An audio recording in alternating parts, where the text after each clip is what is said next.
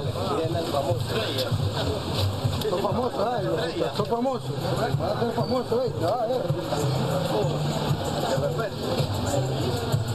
Mientras el Ministerio Público leía la acusación fiscal en contra de Juan José Romero Sales Charagüey, él guardaba silencio con los ojos cerrados. Así se mantuvo durante la audiencia inicial en los juzgados de Diriamba, donde se elevó a juicio oral y público por el delito de lesiones graves en contra de Nelson Ali Robleto, a quien quemó con un 33% parte de su cuerpo, ocasionándole quemadura de tercer grado. Todo ingiriendo licor junto al acusado Juan José Romero Gutiérrez, alias Charagüey, quien es socialmente conocido como inhalador de pegamento. En el intercambio de información de pruebas, el Ministerio Público incorporará cinco testigos a favor de Nelson Robleto. Uno de ellos es Javier Hernández, que de víctima pasó a ser testigo clave y su caso se convierte en una falta penal, mientras las medidas cautelares para Charagüey se mantienen, así lo aseguró la juez del Distrito Penal de Audiencias, Carol Urbina.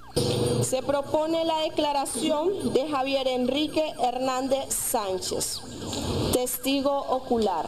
Y esto es prueba también eh, que no demuestra la participación de mi representado. En los juzgados de Diriamba se ventilan dos casos en contra de este ciudadano, quienes lo consideran de alta peligrosidad en la ciudad de San Marcos. La fecha para el juicio oral y público está para el próximo 16 de agosto.